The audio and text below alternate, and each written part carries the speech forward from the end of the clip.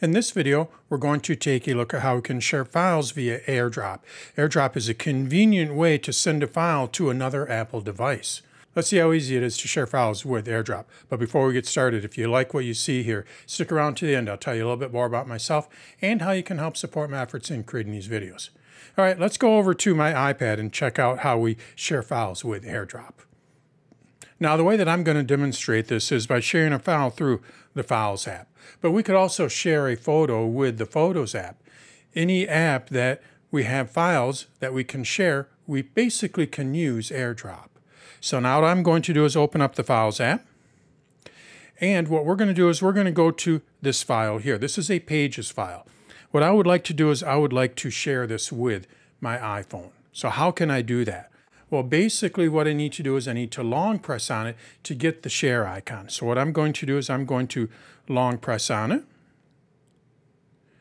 And then you're going to see the share icon. This is what we're looking for. So if you're not using the Files app, if you're in Photos or another app, this is what we're looking for, the share icon. When I tap on that, you're going to see the option to AirDrop. I tap on AirDrop, and then any devices that are nearby that you can airdrop to are going to show up. So in my case here, here's my iPhone. I can airdrop it over to my iPhone. Or what I can do is I can airdrop it over to my Mac. Why is this being separated out? Well, this is on the same account. That's why it says My Devices. Where this one here is not on the same account, but being that we are in each other's contacts, more on that in a little bit, I can share it with my Mac. So basically, let's go ahead and share it with my iPhone. So I tap on the iPhone here. And when I do, what it's going to do is it's going to transfer it over to my iPhone. So what I'm going to do is I'm going to switch over to my iPhone. So I tap on my iPhone here, and then we're going to go over to my iPhone and watch what happens here. There's the file, and it opened up in Pages. So basically, it just transferred that file over to my iPhone. That's basically all you have to do. Now there are a few settings for this. Let's go back over to my iPad. There are a few settings for this. So what I'm going to do is I'm going to swipe up. And then what we need to do is we need to go over here to Settings. I tap on it. And then what we need to do is we need to go over here to General. I tap on General. And then we go over here to AirDrop. When I tap on AirDrop, basically what I can do is I can set if I want to receive files via AirDrop and if I do, do I want them from contacts only? Or do I want it from anyone? When I put it to everyone for 10 minutes, anybody that is near me, they don't have to be in my contacts, anybody that is near me is going to be able to send files over to my iPad. That's why it is set for 10 minutes only.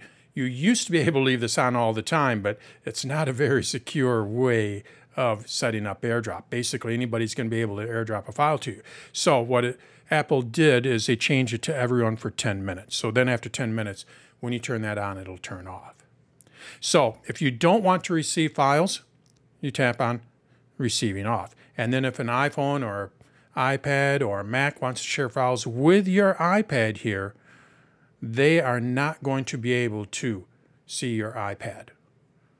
So if I had my iPhone here, I have this turned off now. And when I go back over to my iPhone, and let's say I wanted to share this file, I tap on share here.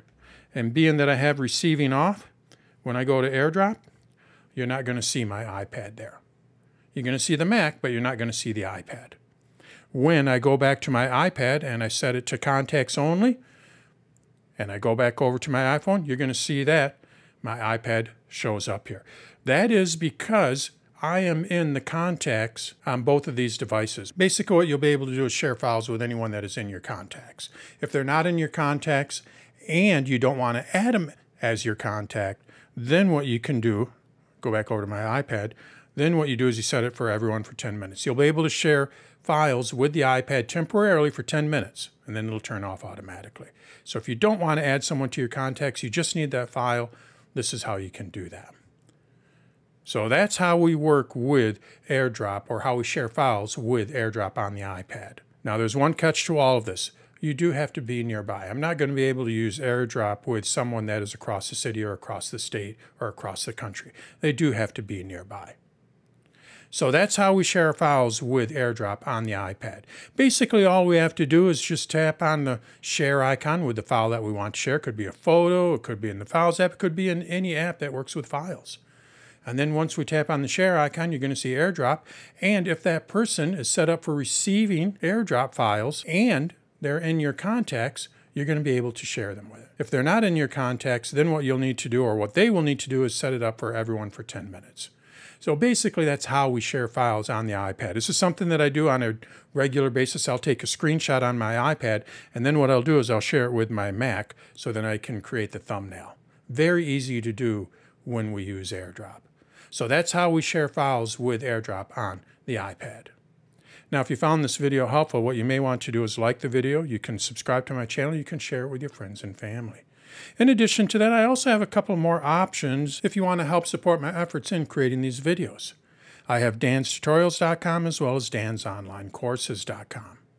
With danstutorials.com, it's a membership based site, and not only do I have more videos there, but I also have an AI assistant modeled after an Apple Genius. When you become a member, what I'll do for you is I'll take out all of the ads from the videos, and you have access to that AI assistant. If you don't like memberships, which is basically a subscription, if you don't like subscriptions, I also have dansonlinecourses.com. On this site, I have courses. As of this recording, I only have one for the iPhone, but I'm creating one for the iPad, which will include this video, and then eventually I'm going to also create one for the Mac. When you purchase the course, it's a one-time purchase and you get all the videos for that course, so it is not a subscription. With either one of these, just know that you are helping support a small business. It is just me in a corner office of my house. I'm not part of some large organization. So when you become a member or purchase a course, you are directly affecting or directly supporting my efforts in creating these videos. Check out danstutorials.com or dansonlinecourses.com for more information, and thanks for watching.